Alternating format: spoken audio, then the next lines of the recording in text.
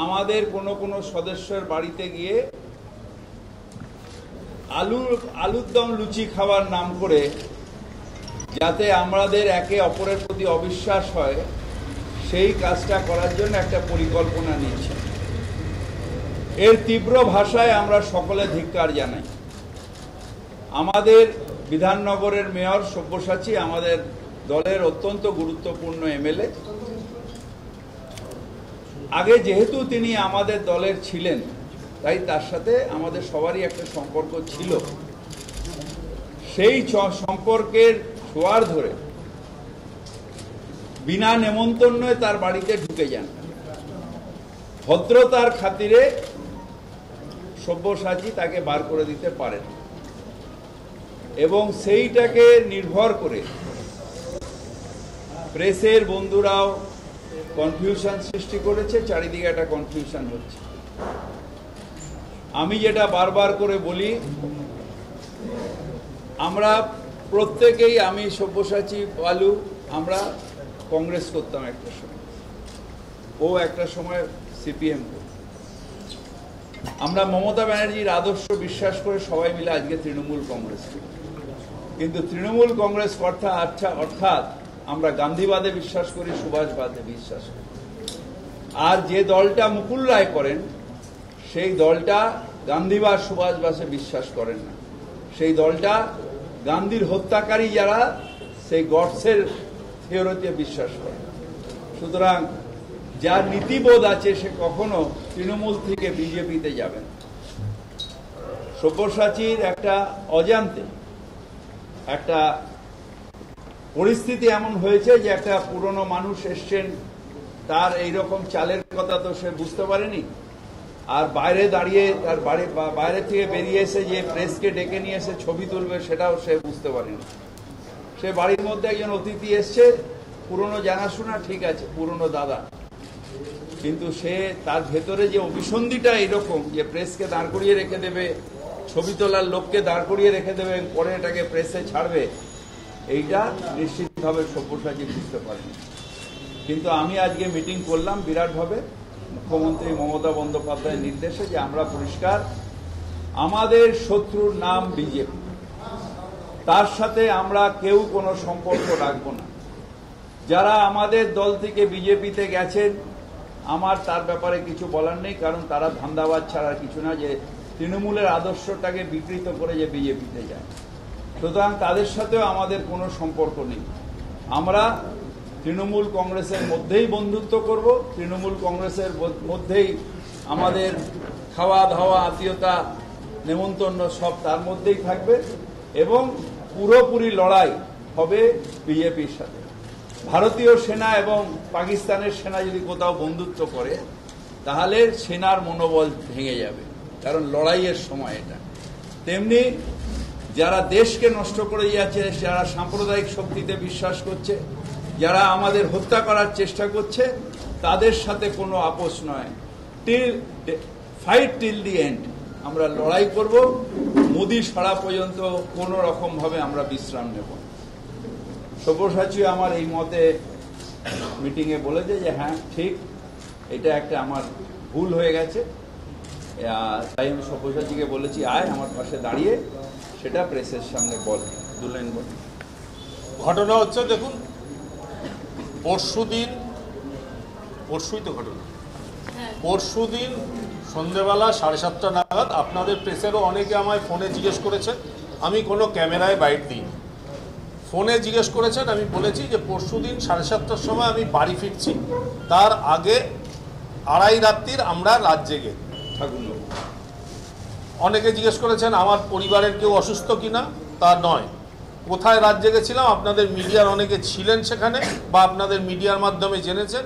আমি, বালুদা এবং সুজিত আড়াই রাত্রি রাত জেগে থাকার পরে আমার একটা বদদোষ আছে, একটু লেট রাইজার তা সত্ত্বেও আমাকে সেই ভোরবেলা ছটায় উঠে রাত্রির দুটো অবধি জেগে আর পরদিন সকাল ছটায় উঠে আবার যাওয়া। এবং যে কোনো মূল্যেই আমি দলের স্বার্থে এবং নিজের আবেগের তাড়নায় কি করেছি, না করেছি, সেটা জ্যোতিপ্রিয় মল্লিক আমার চেয়ে ভালো দেখেছে, উপলব্ধি করেছে ঠাকুরনগরে। তো সেই জায়গায় দাঁড়িয়ে গত পরশু যখন আমি বাড়ি ফিরছি, আমায় হঠাৎ ফোন আসে এবং আপনারা প্রত্যেকে জানেন যে আমার একটা বদদোষ যে আমি প্রত্যেকের ফোন ধরি, নাম্বার থাকুক না থাকুক। সেই ফোনটা প্রথমেই বলা হয়, হ্যালো হ্যালো হ্যাঁ আমি দাদা বলছি। আমি কে বুঝতে পারিনি। হ্যাঁ কে বলুন? না, আমি মুকুলদা বলছি। হ্যাঁ বলো। তুই কোথায় আছিস? আমি আমি বাড়ি যাচ্ছি। বলল, আমি অনেক অনেক দিন তোদের সঙ্গে দেখা হয় না, আমি সল্ট লেকে এসছি, তোর এখানে আসছি। তখন নিশ্চয়ই আমি কি বলব? হ্যাঁ এসো। এসছেন এসে আমার মিসেসের সঙ্গে নিশ্চয়ই ওনার পরিবারের দীর্ঘদিনের আলাপ পরিচয় আছে, আমাদের পরিবারের সঙ্গে আছে। এবং সেখানে সৌজন্যভাবে উনি জিজ্ঞেস করেছেন, ইন্দ্রাণী, কেমন আছো? যেরকম বালুদাও যায়, আমার মিসেসকে মাথায় গাঁটটা মেরে বলে, কিরে, কেমন আছিস? ববিদা বৌমা বলে, সুজিত যায়। সেরকমভাবে জিজ্ঞেস করেছেন যে, ইন্দ্রাণী, কেমন আছিস? মা কেমন আছে? ভাই কেমন আছে, এইসব কথাবার্তা বলে তারপরে বলেছে, খিদে পেয়েছে, ঠিক আছে, লুচি আলুর দম কর, তুই তো করিস, কর। তো লুচি আলুর দম নিশ্চয়ই তৈরি থাকে না বাড়িতে। তৈরি করতে যেটুকু সময় লেগেছে, তিনি খেয়েছেন, সেই সময় খেলা চলছিল। ওই বিচ্ছিরিভাবে বিরাট কোহলি আউট হয়েছে, সেইটা দেখেছেন আপনারা, সেই সময় খেলাটা দেখছিলাম আমরা বাড়িতে বসে। সেও খেলাটা দেখেছে, এবং তার মধ্যে বিগত দিনে একদম আপনাদের বিশ্বাস করুন না করুন, আমি অন ক্যামেরা বলছি। শুধু দলের কোনো, আমার ওপরে কোনো চাপ নেই। দল কেউ আমাকে কিছু বলেনি। কিন্তু আমি অন ক্যামেরা বলছি, আমার সঙ্গে কথা হয়েছে খেলা নিয়ে, ভারত হেরে গেল সেইটা নিয়ে, বিরাট কোহলি খেলতে পারল না এইটা নিয়ে, এছাড়া নানুর, চমকাইতলা, কেশপুর, এইসব নিয়ে গল্প হচ্ছে। সেইটা করার পরে সে খেয়েছে, বেরিয়ে গেছে। এবার নিচে প্রেস ছিল কি ছিল না এটা আমার পক্ষে জানা সম্ভব না কেন? আমি কোনো প্রেসকে ডাকিনি। কোনো মিডিয়া যদি বলতে পারে আমি ডেকেছি আমি এখানে দাঁড়িয়ে যা শাস্তি দেবে আমি মাথা পেতে মেনে নেব। আমি কোনো মিডিয়াকে ডাকিনি। কেন? যে কোনো মানুষ কে আসবে আমি তো জানতাম না। আর দুই একটা জিনিস আপনাদের বলি আপনাদের মাধ্যমে সারা বাংলাবাসীকে জানানো যে আমি তৃণমূলে বিগত দিনে উনিশশো পঁচানব্বই সালে পৌর প্রতিনিধি প্রথম হই জাতীয় কংগ্রেসের, তারপরে দু হাজার সালে তৃণমূল কংগ্রেসের পৌর প্রতিনিধি দু হাজার পাঁচ সালে ওয়ার্ডটা মহিলা সংরক্ষিত হয়ে যাওয়ার জন্য আমার মিসেস ইন্দ্রাণী দত্ত পৌর প্রতিনিধি দু হাজার দশ সালে আবার আমি পৌর প্রতিনিধি এবং ভাইস চেয়ারম্যান। তখন আমাদের দলের নেত্রী, তৎকালীন দলের নেত্রী রাজ্যের, আজকে রাজ্যের মুখ্যমন্ত্রী মমতা ব্যানার্জি বলেছিলেন যে, সব্যসাচী, তুই চেয়ারম্যান হবি। কিন্তু যিনি আমার বাড়িতে লুচি খেয়েছিলেন তিনি আইনটা দেখিয়েছিলেন যে, না, এটা হতে পারে না। তো যাই হোক, হয়েছে। আর দু সালে আমি ভাইস চেয়ারম্যান হয়েছিলাম।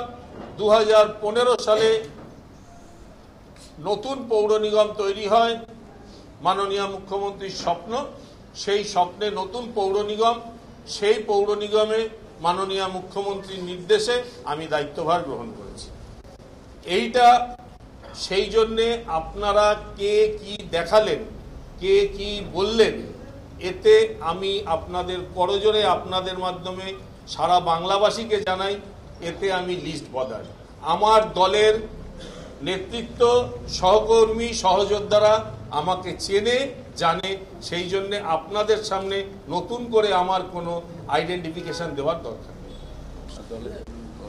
দলে ছিলাম দলে আছি দলে থাকব। ভুল হয়েছে সেদিনকে তো। কিসের ভুল? যেটা রবিদা বলছিল যে হঠাৎ করে যে এই যে এসে পড়া ওনার যে এরকম একটা plan আপনি যদি আমার বাড়িতে আসতে চান আমি কি বলব আপনাকে না ঢুকবেন না? না আমি তো আপনার দলের অন্য দলের কাজ করি আমার বাড়িতে সোমেন মিত্র এসছে। আমার বাড়ি না বলে দিলাম। ওর একটা প্ল্যানিং